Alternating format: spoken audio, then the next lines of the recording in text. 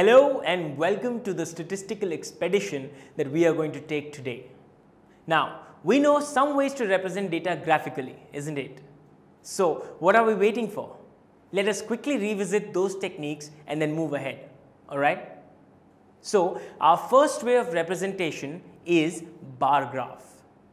Bar graph is also called a bar chart and is a graphical display of data using bars of different lengths. This is a bar graph and it shows daily production of TV sets by the production unit of a TV company. Now, just by using this graph, one can answer various questions pertaining to the TV production. We can easily find on what day maximum production takes place and what day it is the least. So, we can easily see that the production was highest on Tuesday and lowest on Friday. Now, can you tell me how many TV sets were produced on Wednesday? Yes, absolutely correct. It is indeed 200. And so in this way, a variety of data can be represented on a bar graph. Now let us look at another form. This is a form of depicting data and is called the double bar graph. Double bar graphs, also called double bar charts, help us to compare or present more than one kind of information, situations or events instead of just one.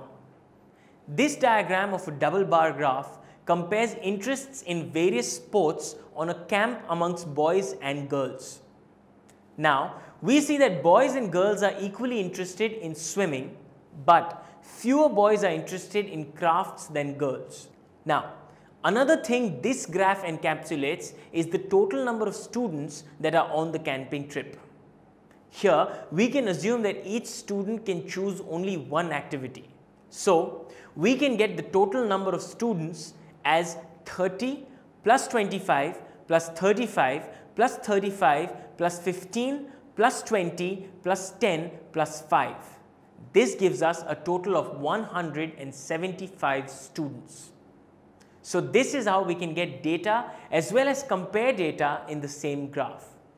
Let us look at another form of graphical representation. A line graph displays data that changes continuously over periods of time. Let us consider this example. The horizontal line or the x-axis represents the days and the vertical line or the y-axis represents the number of push-ups done by a person. So, basically this graph represents the number of push-ups done by a person in a week. So, the push-ups are random, but by representing it graphically, we have created a pattern for the same. Isn't that wonderful?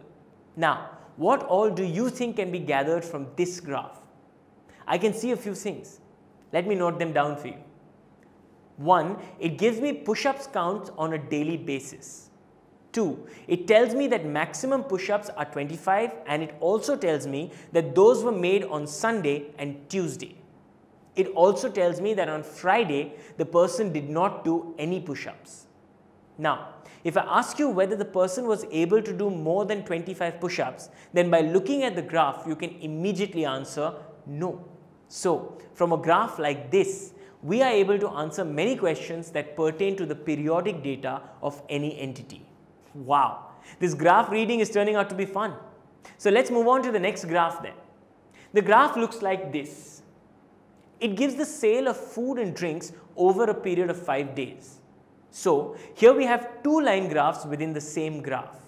Let us see what the questions that are being thrown at us are. The first one asks how much was the sale of food on Monday. Let us trace it for Monday then. And we see that the sale was 400 rupees. Now the next question asks us find out on which days was the food sale higher than the drink sale. From the graph, it is clear that the sale of food was higher than drinks on Monday, Tuesday and Wednesday. Okay, let's see the next one. On which day was the sale of drinks the lowest? Let us follow the drinks line and we see the sale was lowest on Wednesday. The next question asks us to find the total sale of food and drinks on Thursday. Now, the sale of food on Thursday is 300 rupees and that of drinks is 400 rupees.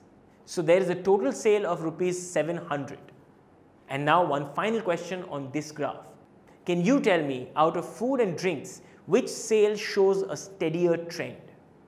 As we can see from the graph, the sale of drinks jumps from a low to a high by a large margin on a daily basis, whereas the sale of food is quite consistent around the 300 to 500 mark. Hence, we can confirm that the food sale is steady. It's fascinating, isn't it?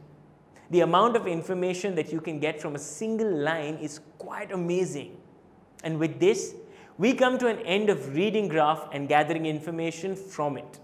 In the next video, we will learn how to plot a graph based on information given. And so, I will see you very soon. Bye-bye. Tutormate. For more amazing videos, download the free app on Apple App Store and Google Play Store.